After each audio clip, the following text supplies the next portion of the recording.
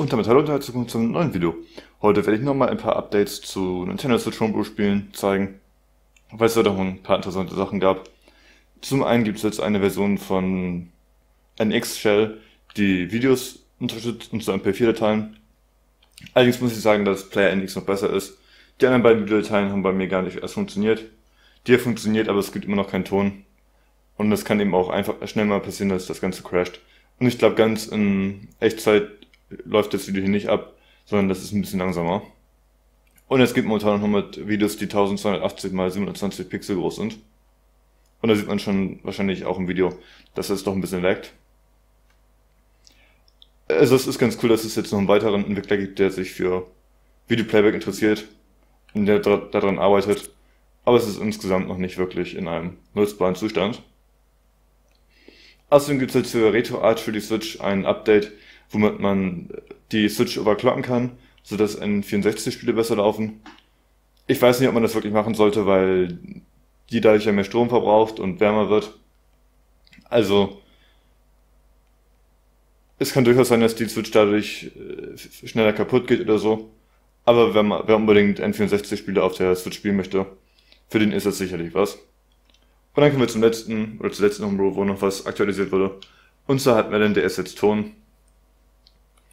Das Ganze funktioniert zwar eher so lala, aber es funktioniert. Und die haben jetzt ja auch ein Menü, das ein bisschen umständlich zu bedienen ist.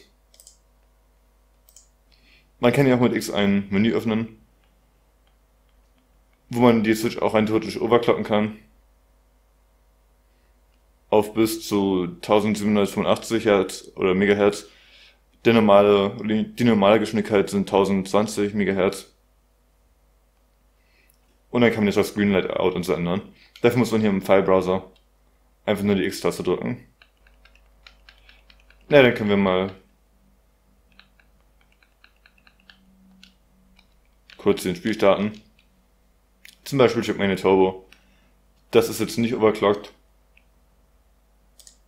Und dann wird man gleich sehen, dass das auch nicht so gut läuft.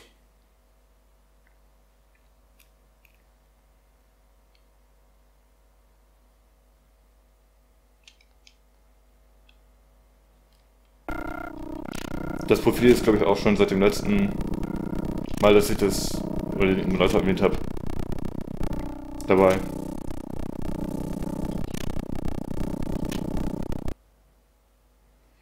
Aber da kann man dann eben jetzt auch mit Ton spielen und rein theoretisch die Switch overclocken, sodass der Emulator ein bisschen schneller läuft. Aber wie gesagt, das Ganze kann problematisch für die Garantie und so werden. Und dann kann auch die Switch rein theoretisch schneller kaputt gehen. Also im Allgemeinen ist es nicht wirklich empfohlen, die Konsole zu overclocken. Und sieht schon, eigentlich sollte das in Sekunden ablaufen. Dieser Countdown dauert schon deutlich länger. Und man kann eigentlich die Frames zählen. Das ist dann mit diesem Video. Vielen Dank fürs Zusehen. Bei Fragen kannst du mich immer gerne in den Kommentaren fragen. Und dann hoffentlich bis zum nächsten Video und ciao, Kakao.